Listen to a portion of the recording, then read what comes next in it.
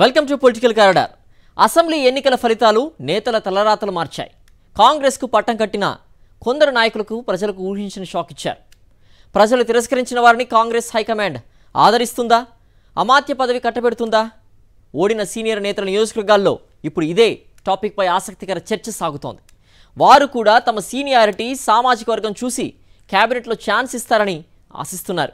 ఇంతకీ ప్రజలు ఓడించిన ఆ సీనియర్ నేతలు ఎవరో చూద్దాం. కొందరు నాయకులు ఎన్నికల్లో ఓడిపోయినా వారి సీనియారిటీ అనుభవం దృష్టిలో పెట్టుకుని మంత్రి పదవులు ఇచ్చిన ఉదాహరణలు ఎన్నో ఉన్నాయి. తెలంగాణ ప్రజలు ఈసారి జిల్లాకు ఓ రకంగా తీర్పిచ్చారు. మొత్తం మీద కాంగ్రెస్కు అధికారం దక్కిన అనేక మంది సీనియర్లు మాత్రం ఓడిపోయి నిరాశకు గురయ్యారు.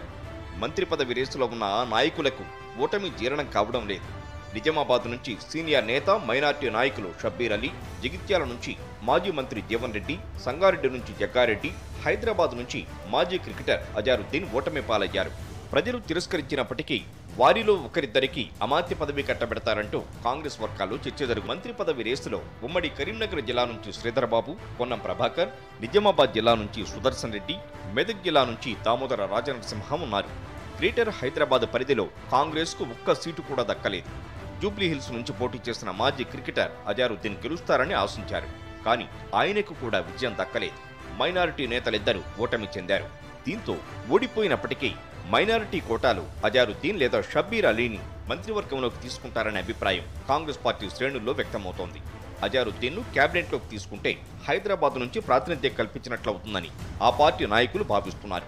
అయితే అజారుద్దీన్ కంటే సీనియర్ నేత గతంలో మంత్రిగా పనిచేసిన అనుభవం ఉన్న షబ్బీర్ అలీని మంత్రివర్గంలోకి తీసుకుంటే మైనార్టీలు లేరనే లోటును తీర్చడంతో పాటు నిజామాబాద్ జిల్లాకు ప్రాతినిధ్యం కల్పించినట్లవుతుందనే చర్చ జరుగుతోంది.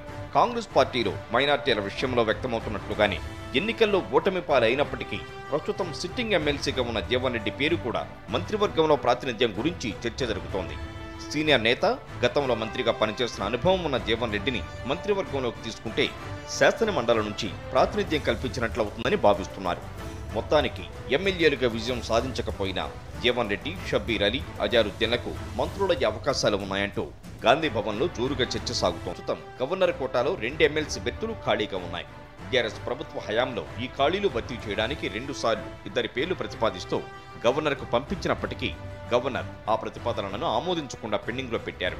కొత్త ప్రభుత్వం ఏర్పడిన తర్వాత ఖాళీగా ఉన్న రెండు ఎమ్మెల్సీ పదవులను భర్తీ చేసే అవకాశం ఉంది.